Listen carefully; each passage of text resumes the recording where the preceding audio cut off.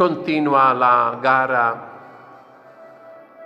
delle pillole di condivisione, l'avete fatto a me. Anche oggi, questa mattina, alcune famiglie hanno portato un loro dono come offerta per venire incontro a chi sta nel bisogno. Almeno 4-5 famiglie hanno compiuto questo gesto. Tutta la settimana, ecco, vogliamo continuare ad avere un cuore generoso.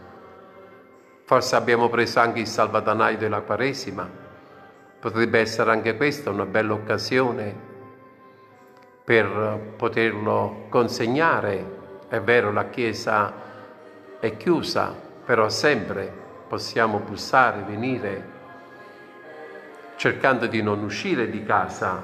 Quando si esce per un'altra necessità, si può anche compiere questo gesto. Non vorrei che fosse interpretato in modo sbagliato, così come è stato questa mattina. La Chiesa stava scritto sull'invito, è aperta, ma non per la preghiera, non per avere una massa di persone. La Chiesa è aperta unicamente per un saluto a Gesù, ma per quelle persone che già escono per altri motivi, non uscire per venire in Chiesa, perché la Chiesa è il nostro cuore e sta ovunque noi ci troviamo. Intanto possiamo programmare, ecco così, i gesti di solidarietà, perché ecco, chi ha fame non può dire va bene, mangerò la prossima settimana, verrò un'altra volta. No. Grazie per aver partecipato.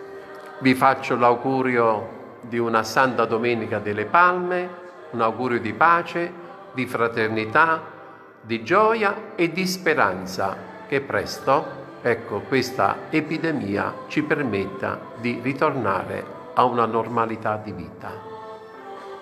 Grazie, buon prosieguo. Il Signore è con voi. Accogliete la benedizione di Dio amore Padre e Figlio e Spirito Santo. Amen.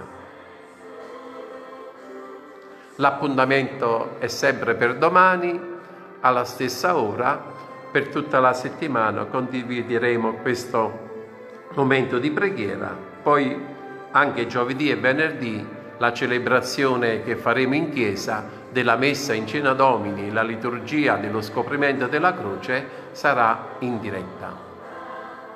Ciao a tutti, grazie per la vostra partecipazione.